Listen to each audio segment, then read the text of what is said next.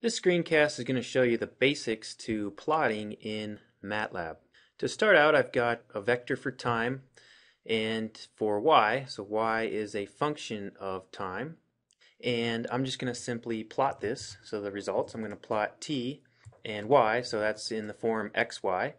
I can also add things like x label time and pressure difference. When I do that, it pulls up a plot with the axis labels intact. By default, this is generated in a new figure, figure 1. If I'm interested in plotting multiple things, I can actually declare figure 2, and when I do that, it's just empty, and I still have my figure 1 here.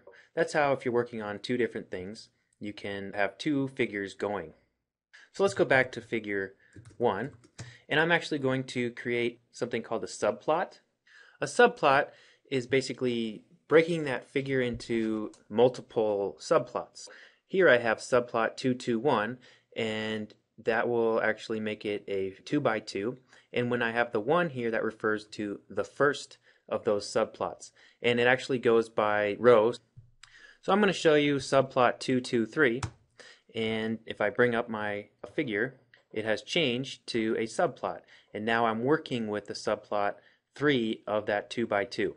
I can then redo the plot and if I go back to my figure 1 we see that it has plotted that in the subplot 3. Now if I wanted to I can use commands to actually scale this and add a grid if I wanted to. Some other basic information for plotting. There are these color codes, line styles, and marker styles. For example, plot 1 comma 2 GS in single quotations would plot a green square at coordinates x equals 1, y equals 2. You can also plot straight lines by putting in a vector for x coordinates, a vector for y coordinates, and then, for example, we have a black dotted line here. Some other useful supporting functions, we have axis, so you can actually change the x-axis to be a minimum and maximum, the min and max of the y-axis by putting this vector of those four different ranges. We have something called linspace, and that is creating a vector of 50 equally spaced values. By default, this is 100. It's not quite the same as if you actually make a vector. Um, we can also do log space, which creates a vector of 100 values from 0.01 to 100, according to the log value. So this is how you can make a log or a semi-log plot. What if we wanted to plot both of those, so cosine squared x and sine squared x on the same plot? We can easily do that. I've redefined my y and z. Plot xy will actually plot y as a function of x. This is very important because if you want to plot two different lines on the same plot, you have to do this hold on command.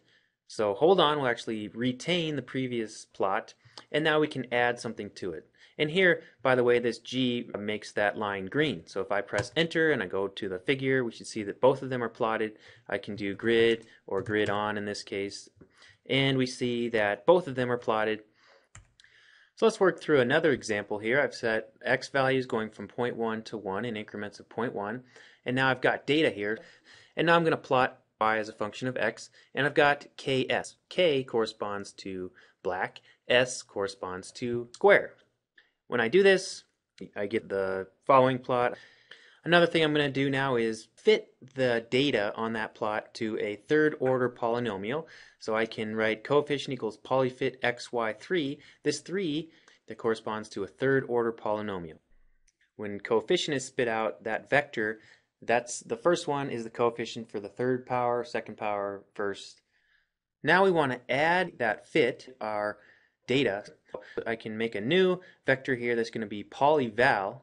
Okay, so it's actually going to take each of those x values using the coefficients that we just determined from our third order fit using polyfit and we're going to create new values and we're going to plot this as a line. And I'm going to put a hold on so I retain the markers. Plotting x and I'm plotting my fit and I'm making a black dotted line. We look at our plot. We've got our data markers as black squares, and then we've got our fit as a line. And we see that the fit goes through most of these black markers.